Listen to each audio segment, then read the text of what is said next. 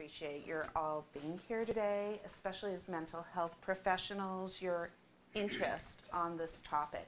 As you know, um, neither pornography or social media is going away, and it's having a huge impact, not on adults, but also on our kids.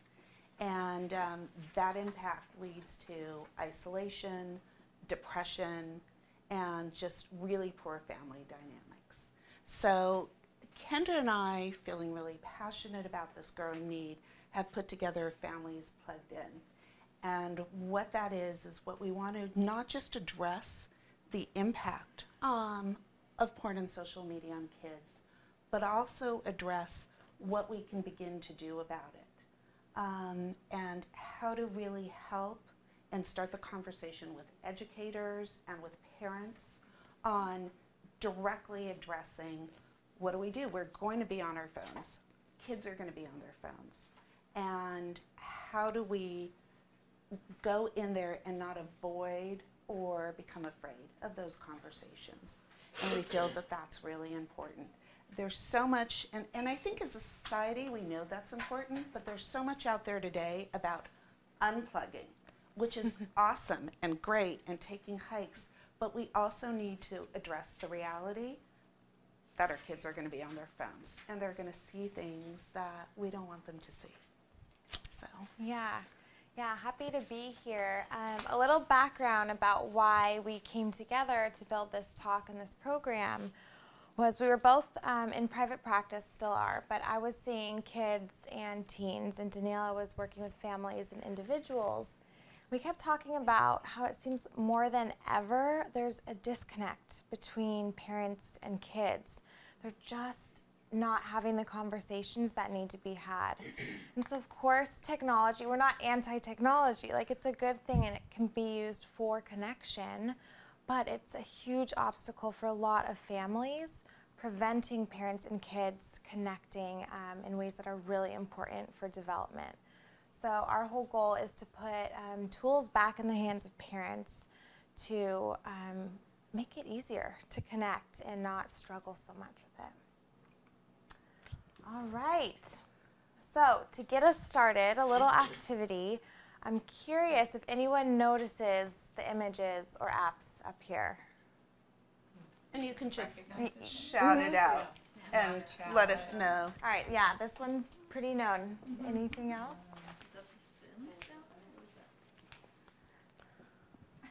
That might be Sims. Yeah.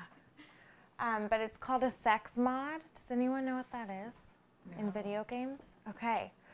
So we'll get more into it, but it's a way that the porn industry is marketing to kids. Um, as we were doing some research, we, it was shocking how um, they market to kids in subtle ways, and there's a lot going on in videos and gaming. Um, what about, about the calculator? Yeah, We're going the same way. So there's thousands of apps um, for kids to um, store private photos that look like regular apps that parents would not catch. So this is the most popular one. It's just a secret photo vault. And the thread of all of these, we can go through them, but it doesn't even matter because tomorrow they're gone and there's a thousand more that are coming up, but that they're all anonymous. Um, that uh, it is for predators, for people to go on and um, really try to engage with young, young kids. And in the field of body image and um, bullying, Burn Book and Whisper are two really, really popular ones with preteens and teens. Um, and they're both anonymous, but Whisper, you can just go on and um, share secrets with strangers. This one's more related to the school you're at, so it's an anonymous posting app, and you're linked to the school. So a lot of bullying and social comparison. And how, I'm curious about the school officials, do they say, oh, well, I, we can't deal with that because that happens off campus? You know, with, because you said it's linked to schools, a school community. Yeah, That's something where it's a great question. Something um, we're going to touch on a little. More and more schools are wanting Kendra and I to come and give these talks and really address them. I think what you're saying more specifically is how's it dealt with with schools with kids going on. Yeah. And, and I think we are still in the era of uh, blind eye Uh-huh. and, yeah, unless it's specifically brought up. Okay. And with that being said, there's a lot of politics that go into the drama of posting, um, and school. I think schools are facing a lot of challenges with that. Yeah. All right. So the reason we're showing you this um, is to give you a taste, or maybe you're a parent, um, of what parents are facing. We hear a lot that they're overwhelmed. They feel anxious about what's out there. Um, we often hear that they can never get ahead of what's going on. And someone mentioned it feels like they're a foreigner. And that causes a lot of anxiety. Um, and so we're here to just kind of set the table and show you what's happening and what parents are facing and feeling. Unfortunately, when parents feel anxiety, what does anxiety do? It kills connection and presence. And so it's kind of part of the part of the issue.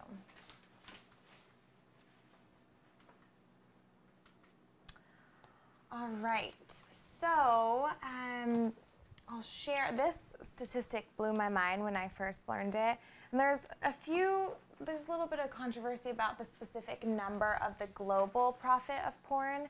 But we found from one source that it was 90 billion. So that that blew my mind. And to put it into perspective, the NFL makes 8.1 and Hollywood's around 10.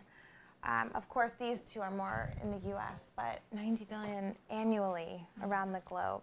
really big business, and what we're finding is it's more and more large companies, that they're companies behind the companies that are running this. So, um, Wow. yeah, that's how prevalent. We used to have the idea that it's um, the isolated male, you know, lurking in the, you know, sure, that's some of it, but really the bigger issue is this. Yeah. And, and that's why it's not going away. Yeah. And that's just why we feel so passionate about talking about this because our kids are involved. But we're here to reduce the fear and anxiety around it. Um, and then I'm sure this one isn't too shocking, but the average age of first exposure is 11. I've heard a lot younger. Of course, that's an average. Um, yeah, it's happening. So, um, not surprising, the porn industry markets directly to our kids, despite whatever we may believe in terms of laws or not. Uh, 97% of boys, 80%, 80% of girls under the age of 18 have viewed porn. Of those, 23% of boys said they tried to stop watching but could not. 8% of girls tr- tried to stop watching but could not. Now, what's significant here, um, besides the prevalence, is that, look, porn, objectification have always been around, right, through time. But, you know, back in the day, it was magazines or maybe hidden magazines under the bed. Now, because those images are getting like multi images in a split second, it's actually changing the structure of our kids' brains. And that's, and the science isn't fully out yet, but what we do know is that we are seeing um, young men with addiction, with porn addiction, young boys with porn addiction who are terrified to go to anybody about it. They feel that they can't stop doing it. Um, the men cannot get erections with a partner, leave alone um, have any type of intimacy or sexual experience. And of course, there's devastating repercussions around that. But we're really, we're seeing a tremendous problem and already the ramifications of that. Um, I don't know if any of you saw, Lisa Ling did a really good program on CNN um, that addressed some of it. And one of the things at the end, she interviewed um, high school kids of what they would have wanted. And the majority of them said, well, we get some education at school, and I'm not even sure if that's really so much the case. And then we hear the rest from our friends or what we see from social media or even porn. And if we knew, if we had more information of what that really does to us and how that affects our relationships. And that would have been really important. We wish we would have known that. Um, Can I ask a question? sure. Um, You said that so many people, boys would have trouble having erections because they watch so much porn. They Why? actually can't get an erection with someone else because they are masturbating to Uh-huh. the pornography Mhm. and in that and that goes back to their minds Uh-huh. changing that they can't they find that they can't there's not enough stimulation that it's not enough it, it's not fast enough with being with a real live person which is really more intimacy Okay, I thought so, but thank you. Mhm. Okay, Sure. you. Yeah, Go ahead. uh, One of the people I work with, he has problems with his girlfriend because she doesn't qua- rate up with the quality of the actresses in the porn material. right Yeah. Right. Yeah, it can't, and that, you know, we'll get into that, but really, how do we begin to teach young people who are looking at that, that that's also fake? But we will get more into that, so thank you for bringing that up. Yeah. Yeah, tons of false realities out there from porn to social media. So, before we dive more into techniques and tips and tools that um, we can help our parents that we work with, or maybe your own families, um, it's important to just, again, state the reality of what's going on. So, the truth is, as we all know, technology is evolving literally every second, every minute of every day, and it's not going to go anywhere. And so, again, our goal um, was to really come together to give parents tools while the family's plugged in, while the phones are out, while they're on the laptops doing um, schoolwork. And it's truly not about um, getting ahead of what kids are seeing, it's about letting go. And I think this doesn't always land well with parents because how in the world can you let go? There's so much out there. Um, but again, that's linked to parental anxiety dropping, and that's when the connection happens. So, teens now spend an average of seven hours, 22 minutes per day on screens, um, and that's not including their homework and schoolwork. So, here for Kendra and I, what's really important is connection over controls. And by controls, it's really twofold. One, um, and there are a lot of people out there who teach this, and it, it has its place, but parental controls really don't work. And in some worlds, that's a little bit controversial, my saying that. But they don't work because if kids really want to get in, especially once they start getting into middle school, high school, they will go for it no matter what. They can get burner phones very easily. They can, they go to a friend's house and it's there.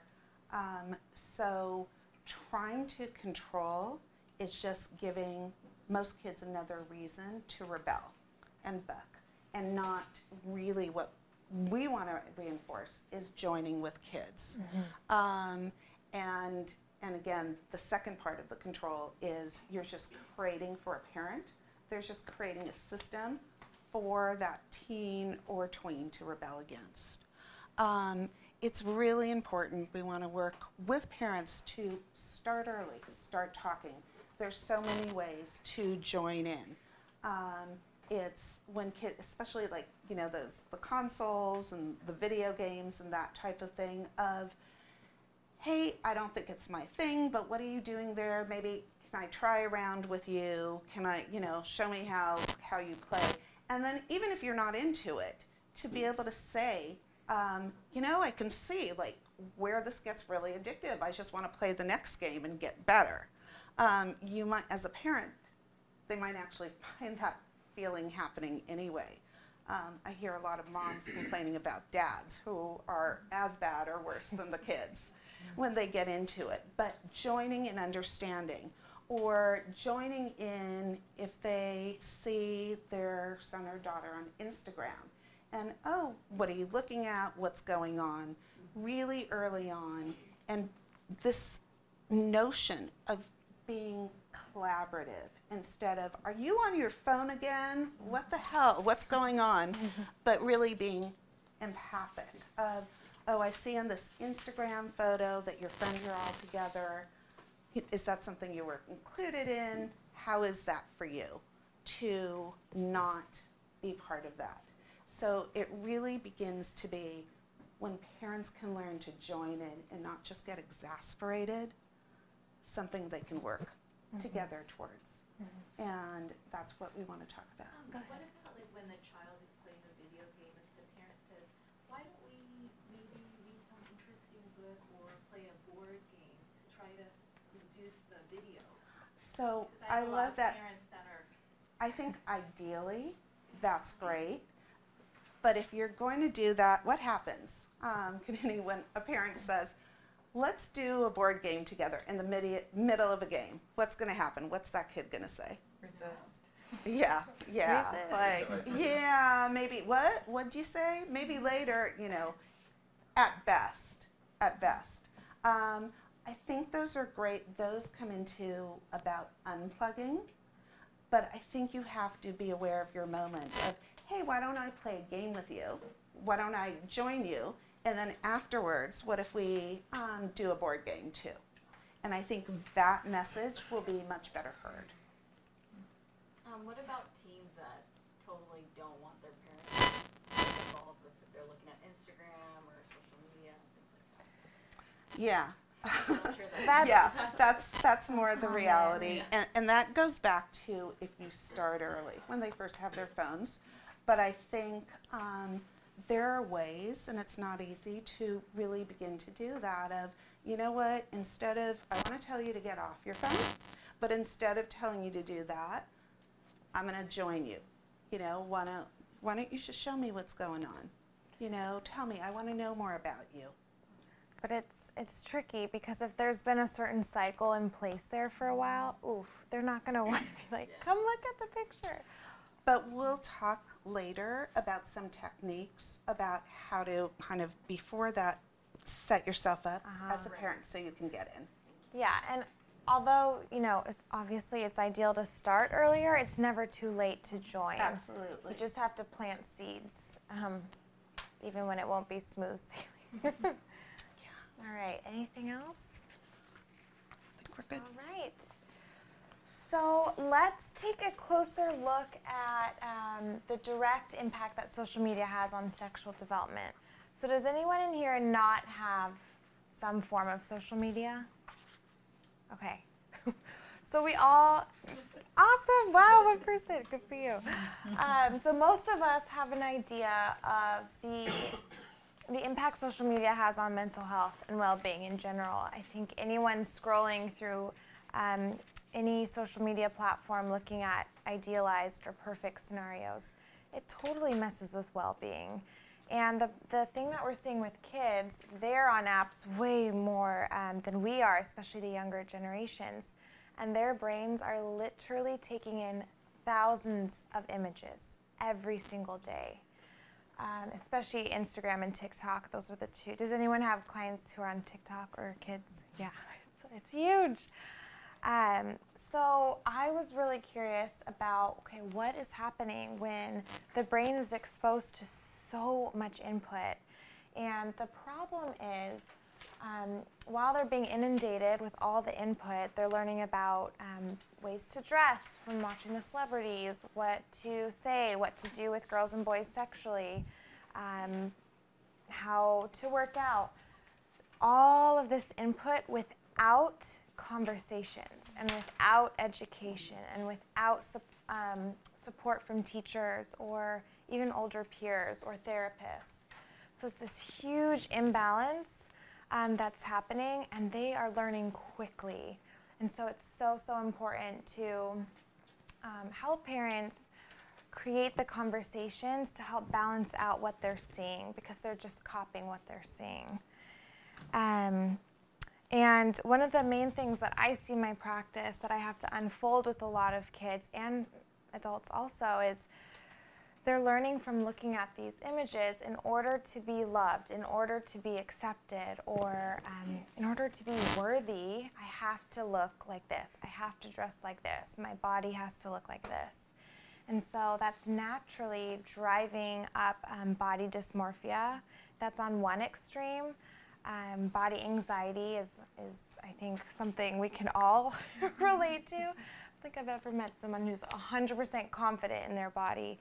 Um, but these images are really powerful and causing a huge disconnect um, with feeling unworthy because they don't look a certain way. It's never good enough. Really. Yeah. It, it, It it's, aren't, and a lot of the images are photoshopped, right, so they're not even comparing themselves to real images. Right. That's the Right. that's the problem. It's com- it's fake, and a lot of my clients show me there's apps where you can literally squeeze in the waist. It's, it takes five seconds to change the body. So yeah. So, um, in terms of what that's doing um, for boys' expectations of what girls want and also what they look like, and girls' expectations of what boys want. And this kind of goes back a little bit to, yes, images on social media that are sexually explicit as well, and pornography. But can anyone guess of what boys are learning in regard to what it is to be a man sexually? like being more aggressive toward girls or like more dominating. Mm-hmm. Can you be more specific? Like violence, like very like I feel like I think if I heard like seventy percent of porn has like violence toward or aggression toward women and in the pornography videos they receive like the girls are very neutral or positive toward it and so Mm-hmm. for kids it's like telling the boys that that's what girls want sexually is they want to be like Yeah, sure. They objectify women and girls. You're Yes, just an object, you don't have any, you're not real. right. Mhm. Yeah. A- And that's some of it, but really, what, go How ahead. about no means yes? Absolutely. Yeah. That's a great point you bring up. Um, and more specifically, what they're actually learning from what they see. I'll Oh, get to you in one second. Unwanted Um, touching, Mm-hmm. like grabbing. Inappropriate, right. But they are learning what girls want is to be ejaculated on their faces and strangled. And more and more girls, too, uh, going back to your point, are looking towards violence or feeling there, there's now a trend, too, of, um, and there's a name for it that I won't get into, but oral sex that is particularly violent.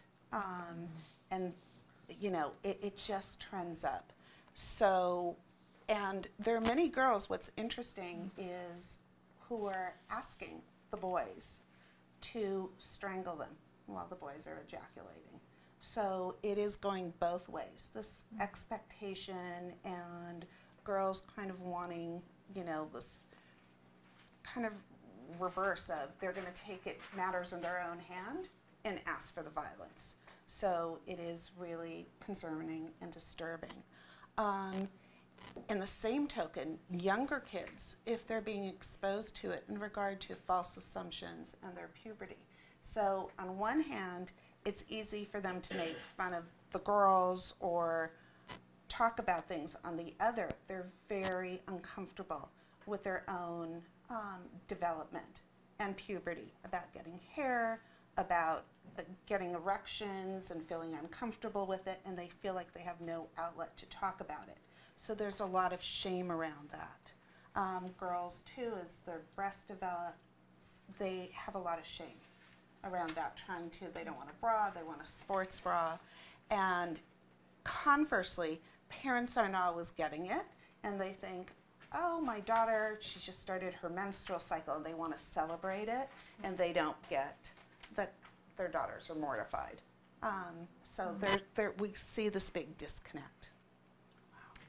Yeah, and just to quickly mention, um, socially, kids uh, from elementary through high school, and I'd say even college, the social hierarchy, the social dynamics, it's already so much pressure. I'm sure we can all go back to middle school. it's a lot to handle. And so the um, age of onset for anxiety and even body dysmorphia keeps dropping, and I think it's directly related to social media because the images add um, additional pressure. Again, in order to be accepted, I have to look or behave this certain way. Um, so I'm sure you see a lot of anxious kids in your practices. And here is this is a very um,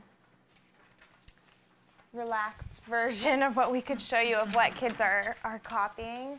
Um, but I just wanted to, you know, hit the point that they're truly looking images like this throughout the day, all the time, and copying it. Um, but what's going on? It's a completely fake reality, and the pictures that you take. Um, it's not even your own body, so that disconnect just happens so often, um, but it's so common. And again, the truth is, you never arrive. You never get to the right body. Even if you lose the weight or buy the outfit, the, the marker keeps moving, and that's what causes this anxiety. And also, there's always someone in the girl group, girls have competition who can eat the least. And there's always that person, that one person who's thinner. Um, by the way, the increase in boys having anorexia is growing as well.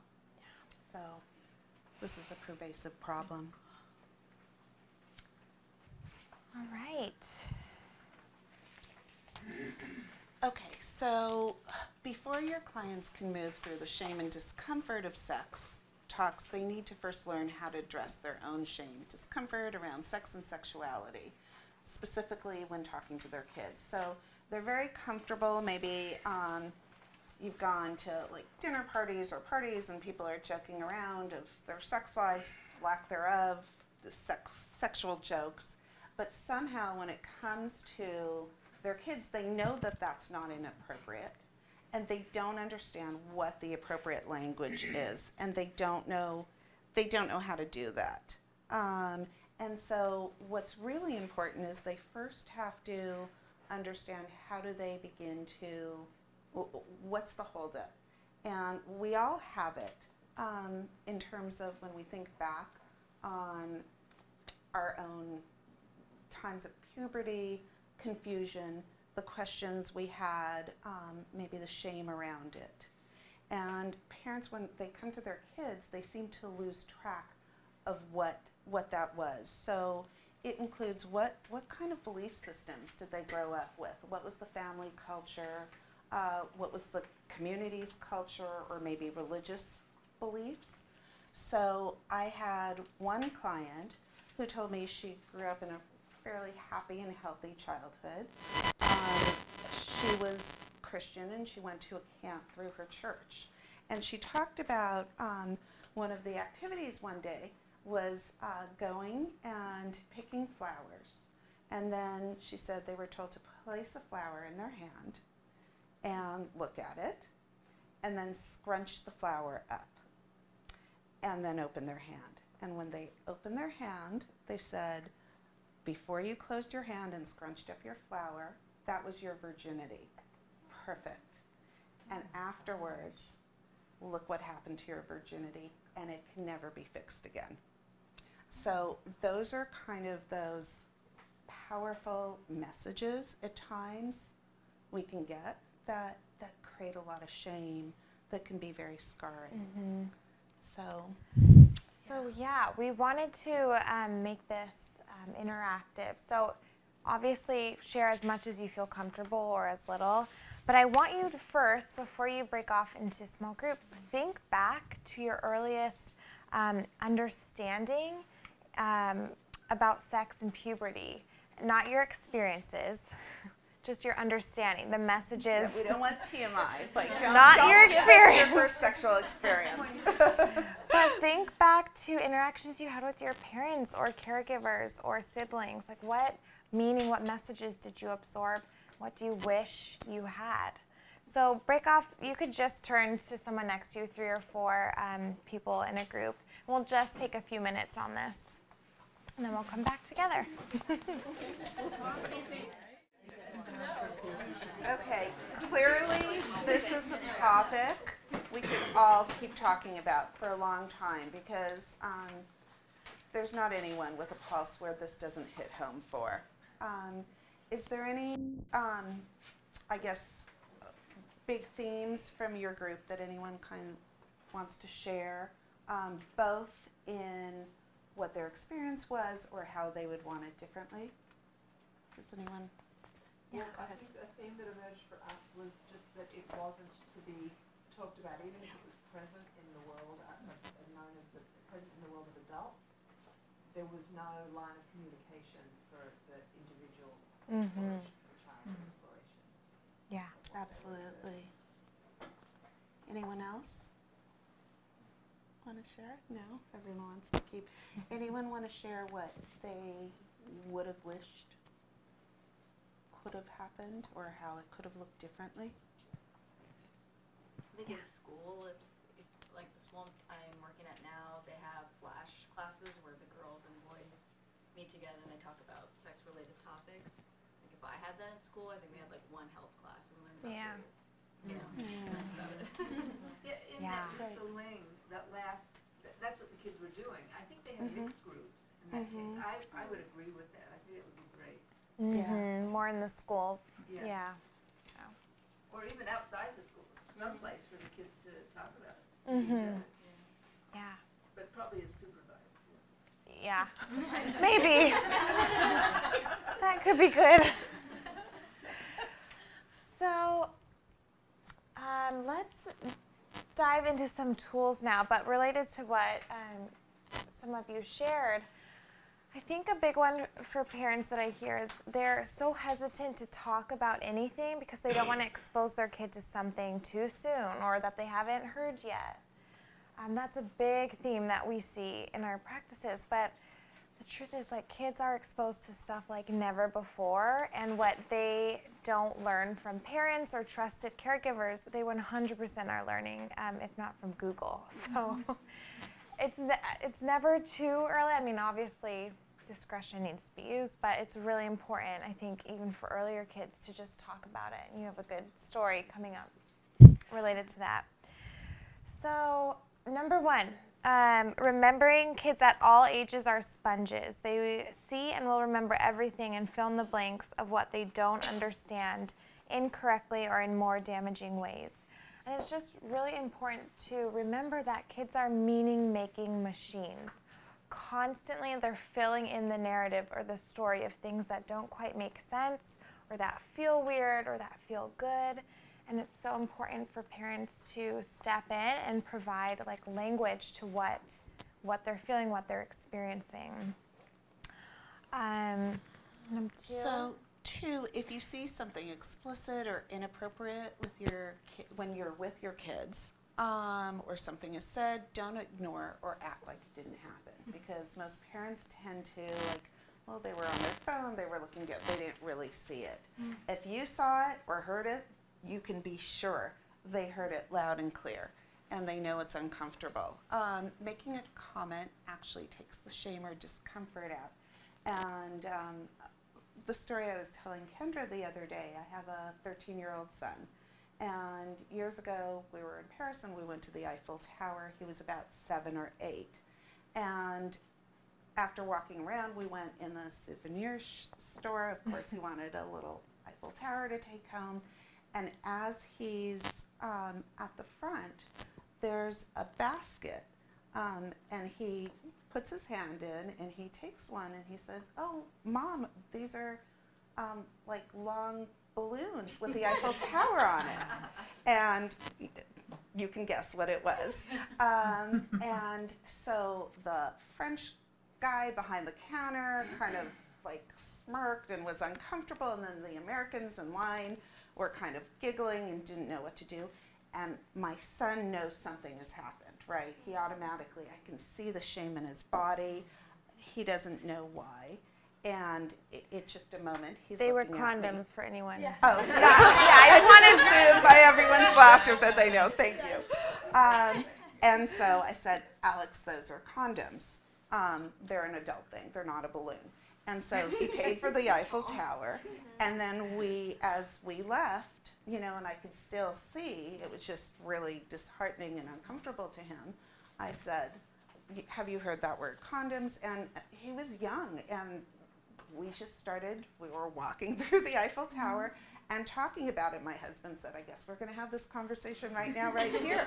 and sure enough, we did. Um, and it was a lot of explanation because he was very, very young, and, including talking about and taking that opportunity to talk about sexuality because at a very young age, parents, to be safe, they talk about it in terms of procreation, right? Um, sex is to have kids. but to really talk about it clearly, condoms are not about having kids, but in terms of when people love each other. And it's a way that they come together and feel good, and their bodies feel good. So, and, and really giving him that healthy context. So, um, there are always opportunities there. Mm-hmm. And Daniela's story um, is is a perfect way again to put words, to put a story to an experience that has so many emotions for kids. And so when um, so number three, understand you can't undo anything your child has seen, heard, or experienced. And again, um, just the importance of story. And when you when you put a story to it, when you talk about what's happening, not only do you normalize the experience, like, ooh, that felt, you know, yucky when they were laughing at me, or shameful, Right. like, like I, I saw that. Um, but you also normalize their feelings, and that's actually really important for body image, because body image goes beyond just how you feel about your physical body. It's much deeper. It, it's also a relationship built into how you feel internally. Like our bodies are amazing and there's so much going on.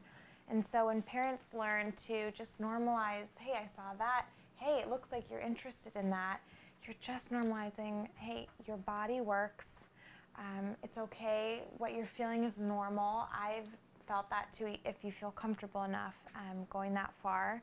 It's such an important part of helping kids uh, build trust and love for their bodies. What's also important is to remember your perception is different from your kids, and what you see is disrespectful, inappropriate, over sexualized, they perceive as cool and empowering. And so, an example of that is uh, if you have a client who said, Oh, I had a terrible morning. You should have seen what my the outfit my daughter came out down in down the steps in. She was she's only 12. It like her skirt was so short and it like came up to her top and you know and I told her go change you look like a hooker. So now what's happened? What's happened with the interaction between that parent and child? Yeah, shut down. Did did she think she looked mm. horrible and like a hooker? No, she felt like, "Whoa, I'm cool. I'm going to school like this, or I'm going out with my friends like this." And what is important is maybe to change that narrative, to join in with that child and to say, "You know what? I see that you're really proud of your body, or you feel good about how you look." And that's so important to me. But I wonder for, since you're going to the mall with your friends, for the people who don't know you, if they're really seeing and taking in your smile and how great that is. Or that they get that you're an amazing piano player or you're great at soccer. And when it is those words that join in, it's so much more empowering, both for the parent, the parent connection, and for the child. Now, they may say, of like, you know what, I like this outfit anyway, I don't care. But you're beginning to plant seeds of empowerment and mm-hmm. strength rather than this is who you are. If you dress like this, you're down here. Yeah. And that's what's really important. Right, so number five, don't give your input before you ask them what they think and how it makes them feel. First, ask them to help you understand how they feel. So, I think this tip is so important for everyone, even partners in a relationship, siblings, um, but especially the parent child relationship. Uh, because when parents have the ability to have the awareness of a big reaction and pause and breathe and not dismiss their feeling or reaction, they allow a safe space for the conversation to happen. And it's huge. It's so, so important to establish safety in that communication. Um, I was working with a teen um, girl around 14, and she was working through some bullying issues and anxiety, and she did not want her parents to join, but eventually we got to a place where she was ready. Uh, we had a few sessions just preparing for it because the parents were great and well intentioned, but the communication was just a nightmare. So eventually, parents came in. she gathered up the courage to talk about this bullying story that was so hard for her. And she talked about how she called a peer a slut. And right away, dad said, We don't use that word. And mom said, Why would you call your best friend a slut? Oh no. It's okay. Um, and right away, you could feel her energy completely drop. She was closed down, and I knew from then on, like this, this we were not going to win anything or get anywhere. And the parents had great intentions. Like it's okay to want to teach, um, you know, your kids' values and have high morals, but the lesson is second. The connection and the Yeah. joining is first.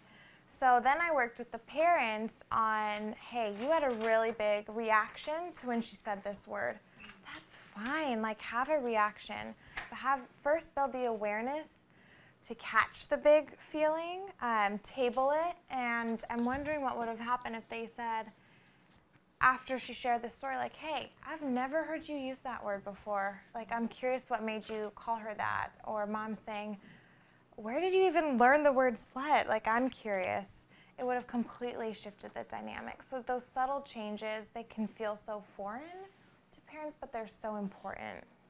And how old was uh, the girl? 14? Yeah.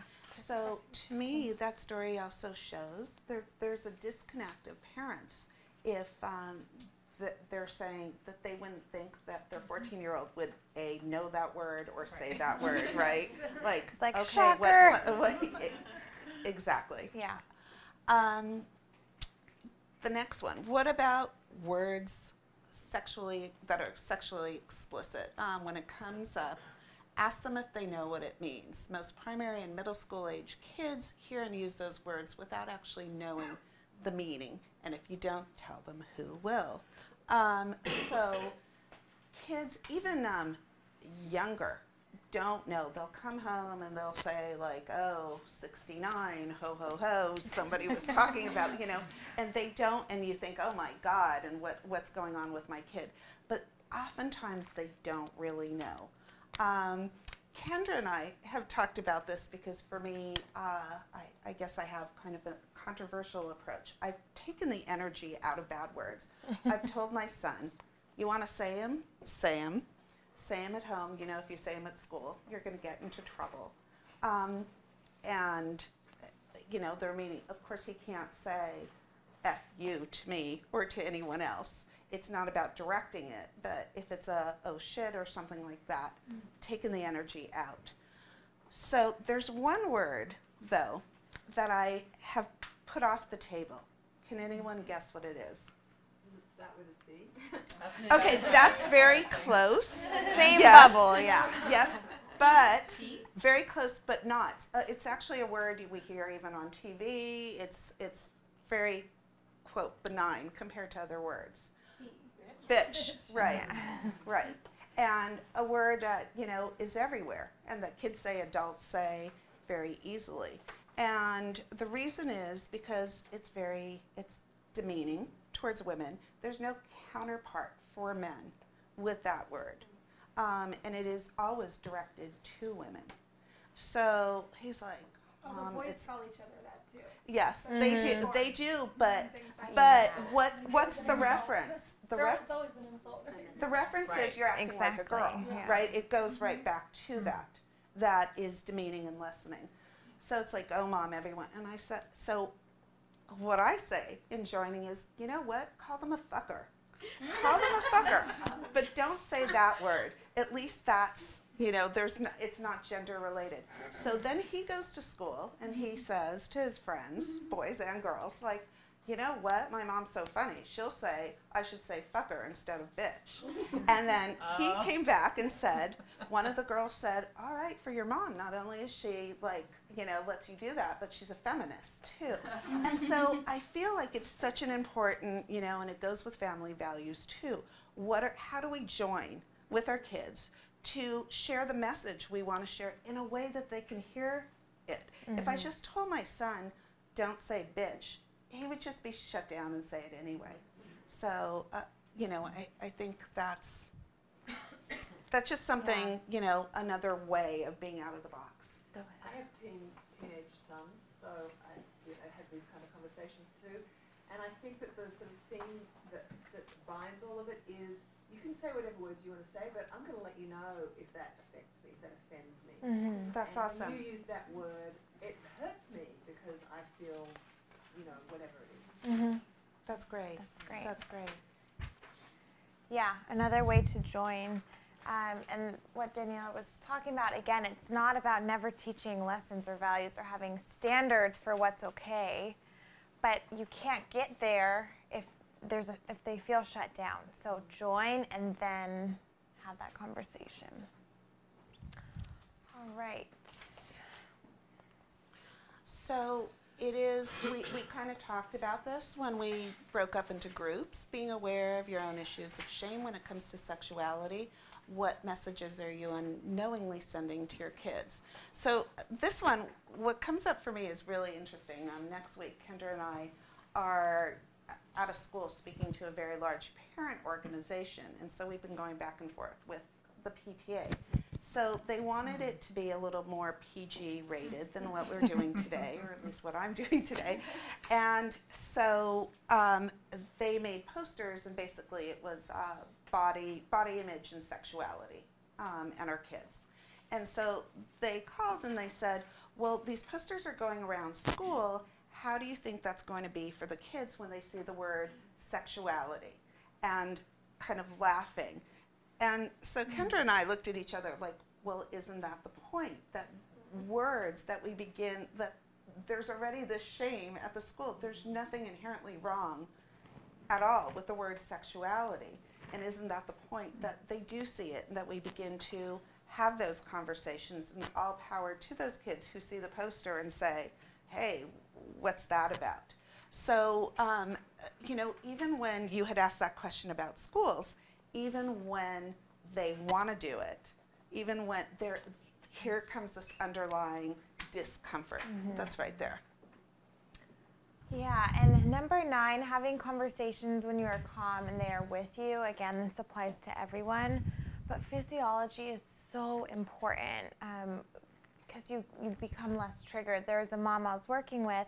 She really wanted to join with her daughter and talk about what um, her daughter was going through. Daughter was in middle school, and she kept having these conversations in the car um, after school, on the way to gymnastics, when both were stressed, both were low blood sugar, and of course, both were so triggered. So the conversations went nowhere. So I worked with her and she switched it to the weekends, trying to have these conversations, and it was a game changer. Both were opened up. Um, it's so, so important. And I'm trained in DIR floor time, and generally that's used for younger kids. Uh, but they emphasize how important regulation is for the parent and regulation for the child. Because in order for the child to learn how to self regulate, they need their parent to co regulate. So, again, applies to adults, but especially kids. It's so important. And so, these conversations, um, kids really need their parents to be you know, low stress and as present as possible. Obviously, it's not perfect, but presence over perfection is really what's important. Just adding to that, there's a lot of research too, and particularly in talking, and parents talk or anyone talks to boys, that it's not a sit down, let's sit down and talk, and that it's eye to eye. That it really is oftentimes while they're walking or maybe playing a board game or tossing a ball, where it makes it much easier than this direct, serious, let's have a conversation, where it is eye to eye. So that's really important to keep in mind too. Um, last, and we'll stop after this, your kids are watching your dynamics, including the way you speak, touch, or look at your spouse partner, the way your spouse looks and speaks about women, and the way you talk about your own body. Um, what are you unknowingly teaching in regard to body image, objectification, and respect? And so, um, uh, two things that come up. One, you know, if, you know, mom says, oh my God, I feel so fat, or my butt looks so big, what do you, and kids hear that. What are those messages? And as Kendra always says, fat is not a feeling. Um, so, really important.